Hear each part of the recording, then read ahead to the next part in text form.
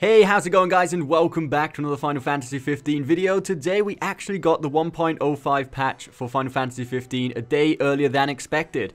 And probably the most anticipated thing about this patch was the time-limited quests, or the time-limited hunts, what are going to be available. So very quickly in this video, we're going to be going over how we can activate them, what they are, and how they work exactly. The first thing we need to know, obviously, is how to activate them. So all we need to do is press the touchpad on our PlayStation 4 controller and come down here to where it says timed quest. So for now, we only have one available, which is going to be this one here. It shows us a slight bit of the map of where it's located, and this is where we need to go to make sure the quest activates and where we need to do it.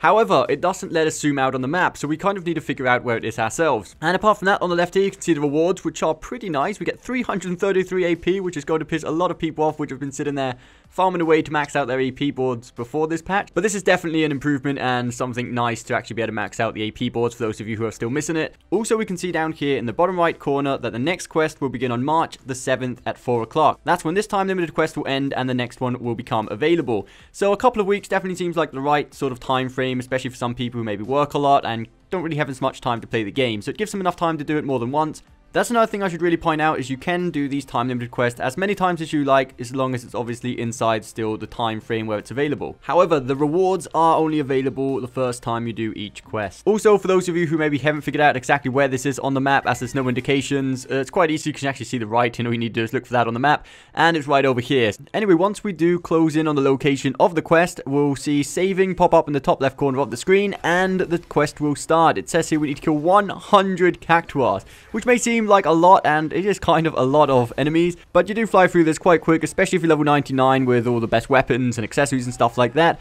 And talking about accessories, there are a few things that I would highly recommend for this quest, especially if you're not max level or you're trying to do this a little bit earlier on. The most annoying things about this battle, as you can see, if you go in without the right equipment, is you get confused a lot and you get poisoned a lot. So there's a few things you can do to make this battle a lot easier. The most efficient thing and the way to make this battle the easiest would be to put ribbons on each one of your characters, which makes it so you can't be affected by any sort of status changes like poison, confusion, petrified, anything like that. However, ribbons are quite rare, especially if you've not quite finished the game yet. If you don't have enough ribbons, don't worry, there are replacement accessories you can use instead of these, which are a lot easier to get. One being the star pendant and the other one being the rainbow pendant. One which prevents you from getting confused and the other one prevents you from getting poisoned.